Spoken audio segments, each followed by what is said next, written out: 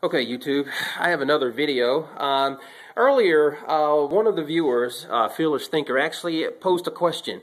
Uh, what happens if the flame is, you know, if the fan is turned off? And also, had, had I considered using a potentiometer to uh, control the energy flow uh, from the battery pack to the stove? Okay, as a test, right now, as you can see, the this is a wood gas stove, and right now it's burning without the fan being turned on. Okay. So I'm going to turn it, I'm going to, at the battery pack here, I bought from Radio Shack, okay? It comes, I got two battery packs together, and what I'm going to do is, it's there's an on and off switch. So I'm going to turn it on.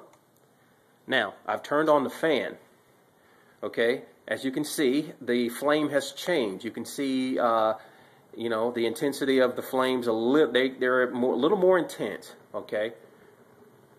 All right. Now I'm going to. Now I also included a potentiometer. What I did was I had an old potentiometer and I used this old Altoids can to uh, as a as a project box. Okay. So we have the flames. Now I'm going to turn it up. Now watch the flames. Okay. By turning it up, the intensity of the flames have increased. So with this potentiometer here, I can actually turn it up and I could turn it down.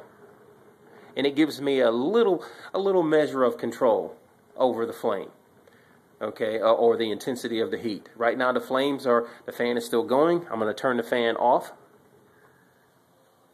Okay, I turned it off. You see the intensity of the, you see the gas being burned. Okay, you see the flames. I'm going to turn the fan on. Right now the fan is on low.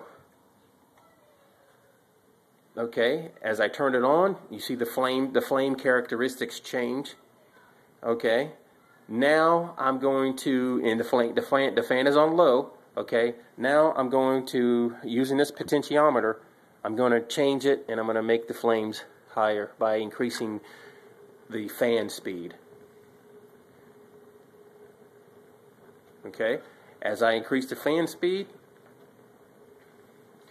the flame characteristics change again. Okay, YouTube, this is a do-it-yourself wood gas stove with a power pack and a potentiometer, changing the fan speed, and thereby changing the intensity of the flames. Take care, YouTube.